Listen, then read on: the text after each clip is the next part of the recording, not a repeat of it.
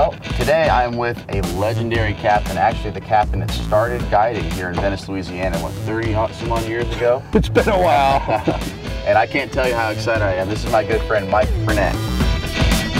Without a doubt, it's the best fishing in the continental United States for a variety of species. You can start at the top with blue marlin yep. and come all the way down into the inshore species, yep. and it's just phenomenal.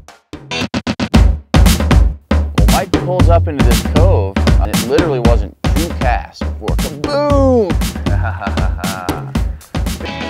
oh yeah, there you are. Nice one. Beauty. Look at, the, look at that guy. That's a nice male. The smartest thing is to bring A to Z with you be prepared. It's hard to judge the size by the fight because they all fight hard, but this one here feels like he's he's at least an inch longer than that last one you caught. what do you think? He's got to be 25? 28 and a quarter. 28 and a quarter. Woo! That is what we came to Venice for. That is a big red man. I'll tell you, this Venice place is some serious business. So we're out here doing some winter camping and we have some wonderful halibut that we have caught on a recent trip up to Alaska and we are going to make some beautiful halibut tacos over an open fire today.